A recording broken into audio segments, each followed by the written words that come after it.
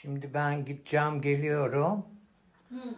Sonra gidiyoruz seninle postaneye. Tamam. Tamam mı? Tamam. İki dakika.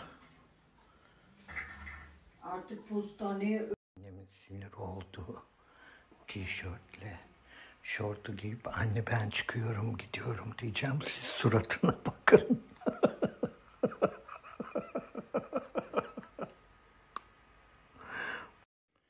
İyi anacığım ben çıkıyorum yavaş yavaş. Anca giderim.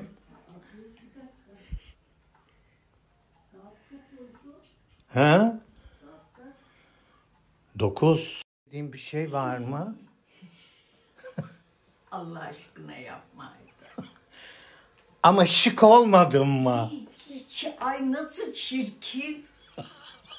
Bakmak istemiyorum. Ama hastaneye gidiyorum. Dikkat çekmez mi? Ay Allah'ın Muhammed'ine yapma. Allah'ın Muhammed'ine de. Ya çok havalı geliyor bana. Rockstar gibi. Ay Ne? bak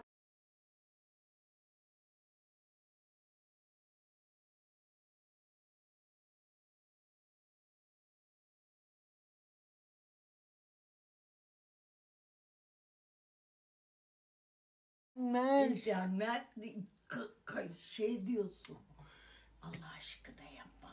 Anne şık değil mi ya? Of, Trend ya.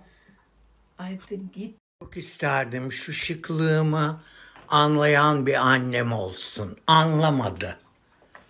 Şöyle iddialı kostümleri sevemedin hiçbir zaman. Hiç. Niye? E sen benim sahne kostümlerime de karışacaksın mı böyle? Canım bana ne sahne. Niye? Karışırsın kız sen. Aman Aydın git sabah sabah. Olmaz. Aydın, O ne anne? O sıktı